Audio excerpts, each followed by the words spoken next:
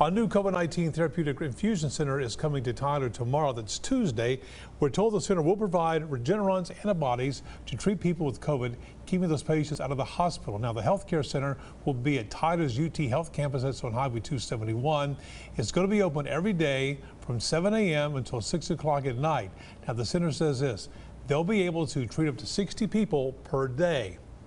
Governor Abbott also affirming that Hope, we'll quote here, the new infusion center in Tyler, which is the second currently operating in East Texas, will help us reduce the burden on hospitals as we continue to mitigate the spread of COVID-19. Now, the first infusion center to open in East Texas, that was Nacogdoches. We told you about that. You can find everything we know about these centers on our website, ketk.com, and good luck.